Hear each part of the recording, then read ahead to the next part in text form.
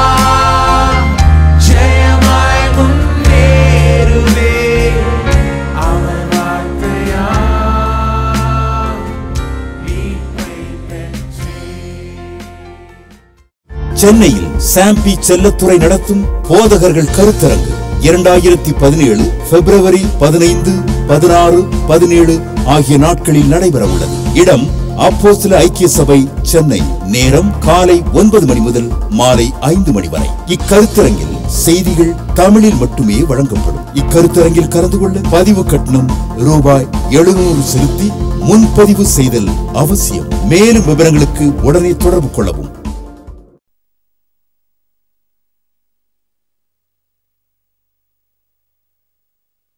John பன்யன்றவரை பற்றி கேள்விப்பட்டிருப்பீங்களா Pilgrims ப்ராக்ரஸ்ன்ற புஸ்தகத்தை எழுதி ரொம்ப பிரபலமானவர். அவர் ஊர்லேயே ரொம்ப மோசமான மனுஷனா? அவருடைய சாட்சியை கேட்டிங்கன்னா ஊர்லேயே ரொம்ப கேடுகட்ட மனுஷனாக வாழ்ந்தவரான் அவர். அவ்வளோ பெரிய பாவியாக இருந்த ஆள். அவர் ஒரு நாள் ஒரு பிரசங்கத்தை கேட்டாராம் பாருங்கள் அந்த பிரசங்கம் என்னென்னா இந்த வசந்த இந்த ஊமை. இந்த ஊமையில் வசனம் விதைக்கப்பட்டவுடன் பிசாசானவன் வந்து பறவை வந்து எடுத்து போடுற மாதிரி எடுத்து போடுகிறான்னு சொல்கிறான் அதை கேட்டு தான் அவர் நம்பினாராம். அப்போ தான் அவருக்கே லைட் அடிச்சுதான். உதிச்சுதான் மனசில். அட பிசாசுக்கே தெரியுது இந்த வசனம் ஒரு மனுஷனுக்குள்ளே வந்துருச்சுன்னா அவன் மாறிடுவான்னு. அப்போ இந்த வசனம் வல்லமை உள்ளது. இது இது வந்து கடவுளுடைய வார்த்தை இது ஆளை மாற்றக்கூடிய வார்த்தை. அப்போ இது என்னையும் மாற்றுன்னு சொல்லி அப்படி தான் அந்த விசுவாசத்துக்குள்ளே வந்தாராம் பாருங்கள் விசுவாசிக்கு தெரியாதது பிசாசுக்கு தெரியுது. வசனம் தான் முக்கியம். அதனால தான் வசனத்தை எடுத்து போட வருகிறான். உங்களை ஒன்றும் அவன் டிஸ்டர்ப் பண்ணுறதில்ல இதை தான் எடுத்து போடுறோம் இது இல்லைன்னா வேறு எது இருந்தாலும் பரவாயில்ல. ஹலோ நீங்கள் கோயிலுக்கு போகிறதுனால அவன் ஒன்றும் எதிரி கிடையாது உங்களுக்கு. போங்கன்றான். ஹலோ போன்றான். போ கோயிலுக்கு போ. பாட்டு பாடுறதுனால ஒன்றும் உங்களுக்கு எரி எதிரி கிடையாது. நீங்கள் பைபிளை தூக்கிட்டு போகிறதுனால கூட எதிரி கிடையாது. ஆனால் இந்த மாதிரி ஒரு பிரசங்கத்தை கேட்டுட்டு மனசில் ஒரு பெரிய மாற்றம் ஏற்பட்டுட்டு ரொம்ப ஆழமாக போகிறீங்க பாருங்கள் அப்போ தான் அவன் உஷாராகிறான். ஆஹா இவன் மாறிடுவான் இவன் விட்டுட்டா. இவனை சாப்பிட கூப்பிடணும். இவனை ஏதாவது அதை பற்றி இதை பற்றி யோசிக்க வைக்கணும். என்னமாவது பண்ணி இவனை கெடுத்து விட்டுறணும். ஏன்னா இது உள்ளே போச்சுன்னா ஆழமாக வேலை செய்ய ஆரம்பிச்சிடும் இப்படி தான் பிசாசு பாருங்கள் அப்போ கேட்குறப்ப இட்ஸ் அ மேஜிக் மூமெண்ட் இது ரொம்ப முக்கியமான ஒரு நேரம். ரொம்ப கவனமாய் கேட்க வேண்டும். ஏன்னா உங்களுடைய எதிர்காலம் உங்களுடைய நல்வாழ்வு உங்களுடைய சுகம் செழிப்பு சமாதானம் வெற்றி வாழ்வு எல்லாம் இதிலே அடங்கி இருக்கிறது. அப்போ கேட்கும்போது இந்த வழி அருகேன்னு சொல்லப்பட்ட நிலம் இருக்குது பாருங்கள் அந்த மாதிரி கேட்கக்கூடாது. இல்லை ஆழமில்லாத நிலம்னு சொன்னிச்சு அந்த மாதிரி கேட்கக்கூடாது. ஆழமில்லாத நிலம்னா ஆழமாகவே போக மாட்டாங்க சில ஆளுங்க பார்த்துருக்கீங்களா? ஆழமாக போக மாட்டாங்க மேற்பூச்சா இருப்பாங்க மேற்பூச்சா ஒரு எக்ஸைட்மெண்ட்டை காமிப்பாங்க. வருவாங்க கோயிலுக்கு உங்களுடைய ஆ ரொம்ப சூப்பர் பாட்டுங்க. நல்லா இருந்துச்சு பாட்டு. அப்புறம் இந்த பிரசங்கம் கூட நல்லா இருந்துச்சு. நல்லா சில கதையெல்லாம் சொன்னார் நல்லா இருந்துச்சு. அப்படின்னு வெளியே போனோடனே இங்கே வாங்க இந்த வடை ரொம்ப நல்லா இருக்கும் அதை சாப்பிட்டு போகலாம் அவனுக்கு என்ன பிரசங்கமும் நல்லா இருக்குது வடையும் நல்லா இருக்குது. பிரசங்கமும் நல்லா இருக்குது இந்த ஹோட்டல் மட்டன் கறியும் நல்லா இருக்குது. எல்லாத்தின் மேலேயும் ஈடுபாடு அவனுக்கு. நீங்கள் நினச்சிடக்கூடாது ஆஹா என்ன பிரசங்கத்தை விரும்பிட்டான்னு அவன் இந்த பிரசங்கத்தை எவ்வளோ விரும்பினானோ அதே மாதிரி இந்த பிரியாணி கடையும் அவ்வளோ விரும்புகிறான் அவன். இதுக்கும் அதுக்கும் உள்ள வித்தியாசம் அவனுக்கு தெரியல. இதையும் விரும்புவான் அதையும் விரும்புவான் எதையும் விரும்புவான் அவன். எல்லாத்தின் மேலேயும் ஆசை அவனுக்கு எல்லாத்தின் மேலேயும் ஒரு ஈடுபாடு அவனுக்கு. எதையுமே ஆழமாக போய்க்கிறது கிடையாது. அங்கங்கே தொட்டுக்குவான் லேசா அப்படியே. அந்தந்த நேரத்துக்கு இது. இதில் ஆழமாக போகணும். இருக்கீங்களா?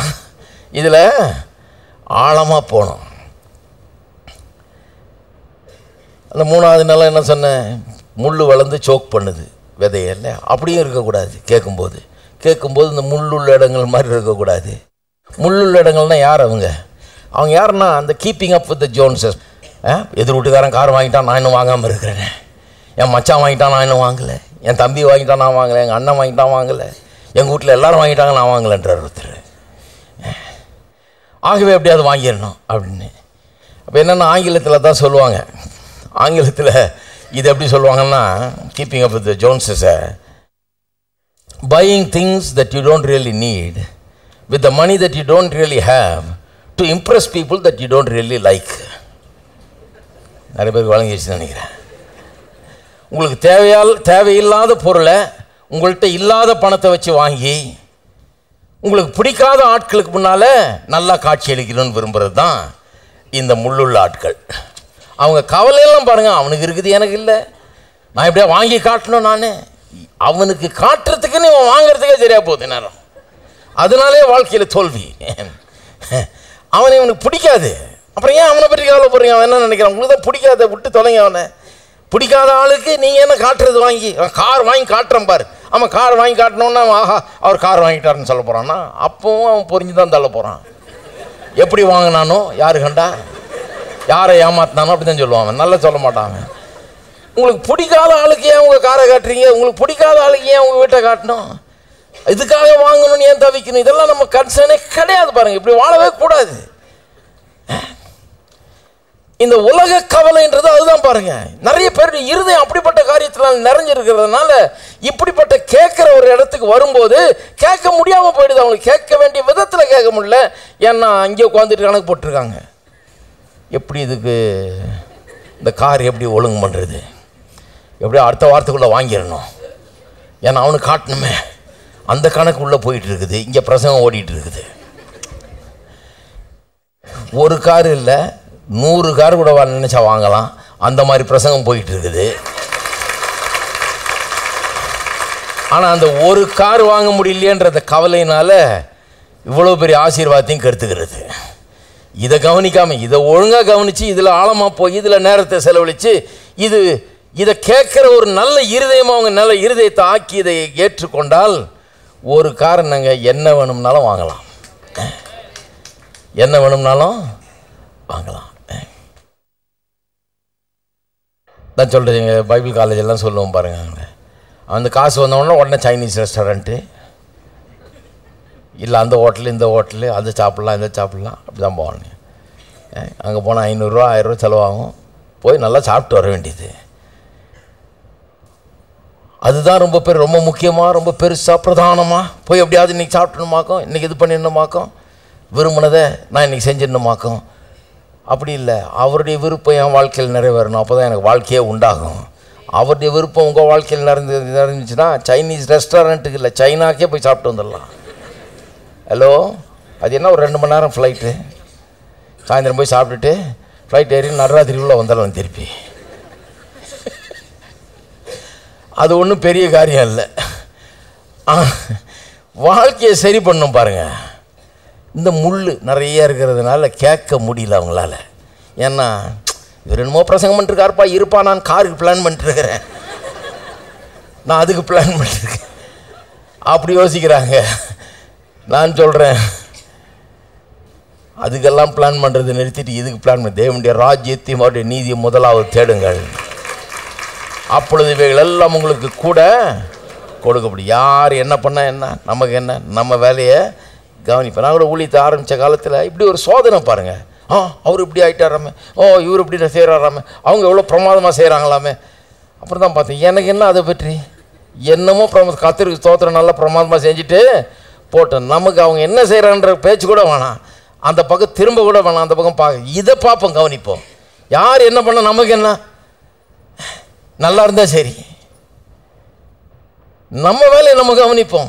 நம்முடைய முன்னேற்றம் இதில் இருக்குது அதில் இல்லை. அதை பார்த்து அதெல்லாம் கவலைப்பட்டுட்டு இருந்தால் நம்ம முன்னேற்றம் ஒன்றும் ஆகவே ஆகாது. கவலைப்படுறதுலேயே நேரம் சரியாக போயிடும். அதனால தான் சொல்லியிருக்குது. முள்ளுள்ள இடத்தை பற்றி சொல்லும்போது உலக கவலைகள். ஹலோ உலக கவலைகள். சிற்றின்பம். சிற்றின்பம் இன்னொரு பிரச்சனை. நிறைய பேருக்கு என்னென்னா நாலு மணி நேரம் உட்காந்து டிவி பார்த்துடணும். ஆ? எல்லா கதையும் ஃபாலோ பண்ணிட்டே வரணும். அதில் ஆழமாக போவாங்க. எதில்? டிவி கதையில். அங்கே என்ன ஆச்சு அந்த கதை என்ன ஆச்சு அதை ரெக்கார்ட் பண்ணி அதை திரும்ப பார்த்து இன்னொருத்தையும் கூப்பிட்டு வந்து இதை பாரு. பார்த்தியா நான் ரெக்கார்ட் பண்ணி வச்சுருக்கேன் பாரு. காட்டுறது அதைத்தான் இதை பண்ண சொல்கிறோம் அதே மாதிரி தான் இதை அதை ரெக்கார்ட் பண்ணுறதுக்கு பதிலாக இதை ரெக்கார்ட் பண்ணி வச்சு இதை திரும்ப கேட்டு இதை நாலு பேரை கூப்பிட்டு இதை கேளுன்னு கொடுத்து இப்படி ஆழமாக போனால் அதுதான் சரியான விதத்தில் கேட்கறது. கேட்கறதுங்கிறது வந்து ஒரு பெரிய ஒரு அற்புதமான ஒரு காரியம். இந்த சபையில் இருக்கவங்க அதை நல்லா புரிஞ்சுக்கணும். வசனத்தை கேட்கிறது. ஏன் கேட்குறீங்க? ஏன்னா அது விதைக்கப்படுகிறது. ராஜ்யத்தின் வசனம். தேவனுடைய விருப்பத்தை உங்களுடைய வாழ்க்கையில் அது கொண்டு வந்து நிறைவேற்றும் அவருடைய ராஜ்யம் உங்களுடைய வாழ்க்கையில் வரும். அவருடைய சித்தம் செய்யப்படும். வாழ்க்கை பரலோகம் மாதிரி மாறும். அதுதான் பிரசங்கம். பிரசங்கங்கிறது சும்மா ஏதோ ஒரு மூணு பாயிண்ட் சொல்லிட்டு ஒரு கவிதை வாசிட்டு போயிடுறது இல்லை அவருடைய சித்தம் அவருடைய விருப்பம் உங்களுடைய வாழ்க்கையில் வந்து நிறைவேறுவது. இல்லைங்களா? சரி. இப்போ கேட்குறதுல ஜாக்கிரதையாக இருக்கணும். ரெண்டாவது புரிந்து கொள்ளுது. புரிந்து கொள்ளுதல். நாலு காரியம் சொன்னேன் இல்லையா? ஒன்று கேட்குறது ரெண்டாவது புரிந்து கொள்ளுகிறது. புரிந்து கொள்ளுறதுனா என்ன? வெறும் விளங்கிக்கிறது இல்லை உங்களுக்கு இந்த சத்தியம் எந்த விதத்தில் பொருந்துகிறது என்கிற விதத்தில் விளங்கிக்கணும் எப்படி இப்போ கேட்கணுமா ஐயோ இது எனக்கு தான் என் வாழ்க்கைக்கு தான் அது ரொம்ப பொருந்தது. என் சூழ்நிலைக்கு தான் அது ரொம்ப பொருந்தது. நான் இந்த இந்த பிரச்சனையில் இப்படி யோசித்தேன் இப்படி பேசினேன் இப்படி இருந்தேன். கரெக்டாக சொன்னார். எனக்கு தான் அது பொருத்தம். நான் தான் இதை எடுத்துக்கணும். நான் தான் இதை நான் அபியாசப்படுத்தணும். நான் தான் இதை கொண்டு வந்து என் வாழ்க்கையில் இதை பயிற்சி வைக்கணும்னு அப்படி உங்கள் வாழ்க்கைக்கு இதை எப்படி அப்ளை பண்ணலாம்ங்கிற விதத்தில் புரிந்து கொள்ளுறது அதை பற்றி தான் வேதவசனம் சொல்லுது. புரிந்து நான் கேட்டேன் விளங்கிருச்சு. ஒரு அகடமிக் அண்டர்ஸ்டாண்டிங் இல்லை.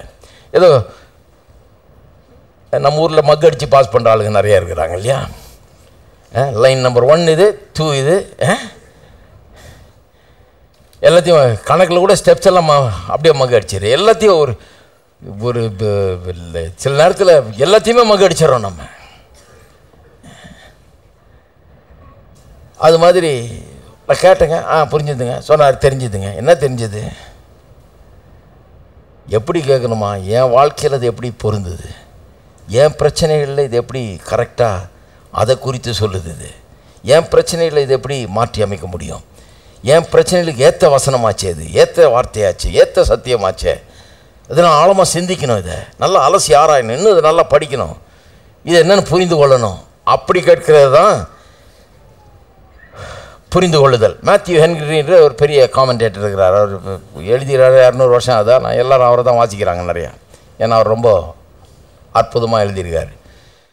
ஆதி ஆகமத்திலேருந்து வெளிப்படுத்தல் வரைக்கும் எல்லா வசனத்துக்கும் விளக்க உரை எழுதியிருக்கார் பாருங்க.